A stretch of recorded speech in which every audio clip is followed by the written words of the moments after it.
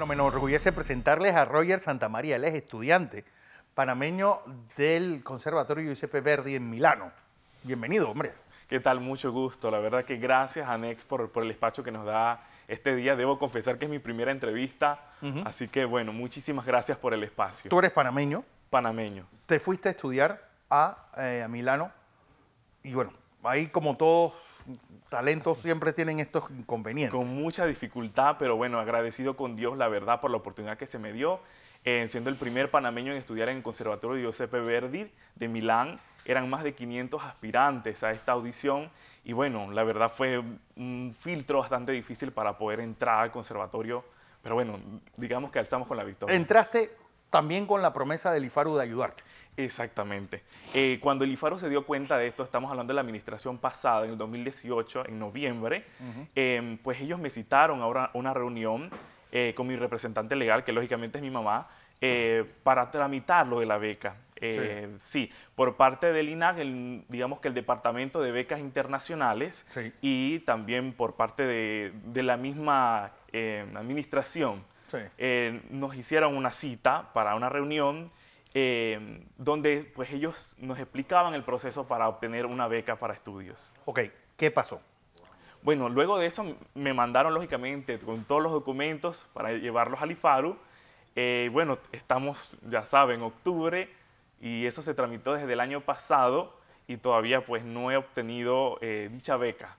Dicha beca pues que me ayuda lógicamente con mis estudios de canto lírico eh, y la verdad, pues, mis recursos económicos, digamos, se, nos hace bastante difícil, ¿no? Como bueno, estudiante. De todos modos, tú tienes varios planes para hacer en Panamá. No, definitivamente. Yo pienso que la cultura es el motor de una sociedad, es lo que identifica a una sociedad y, realmente, pues, eh, por medio de la cultura se logran tantas cosas.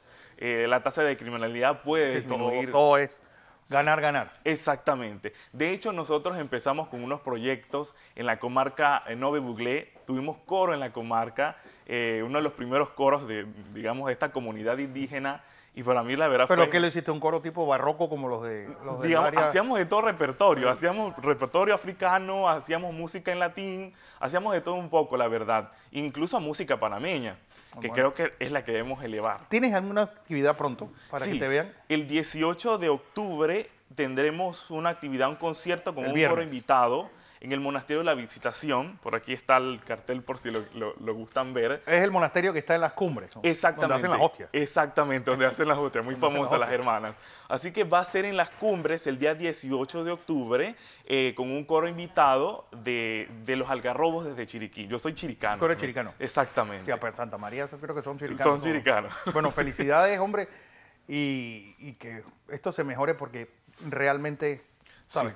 Es lo que tú dices, la cultura y lo que acaba de decir, por esto, sí. de personas que vienen, eso es, da valor agregado al Así es. Agradecemos también a la Dirección General del IFARU porque, bueno, me acerqué a la institución y, bueno, me atendió el director general del IFARU, el cual me dijo, vamos a tratar de solucionar y, bueno, esperamos que sea lo más pronto posible porque tengo que regresarme a Italia bueno, para continuar ahí está, mis estudios. Hombre, ahí está un talento nacional, Roger Santamaría.